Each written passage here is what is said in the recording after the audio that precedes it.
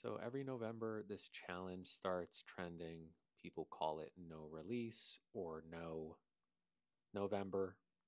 Basically, no intimacy, no solo activity, nothing for a month. But does it actually do anything for your health?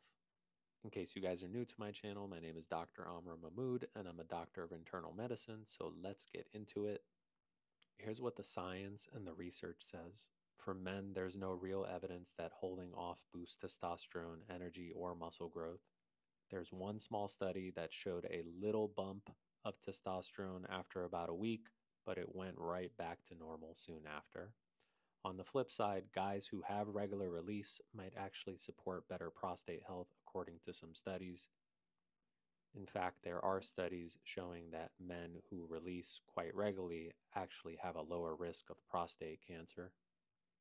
Now, some people say they feel sharper or more focused during the challenge, and that is totally valid. That's not hormones, though, that's behavior and self discipline. So, medically speaking, there's no proven physical benefit to this challenge.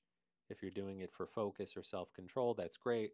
If you're doing it for health, regular activity is just as healthy. In fact, probably even better. As always, if you guys like content like this, please like and follow for more. Peace.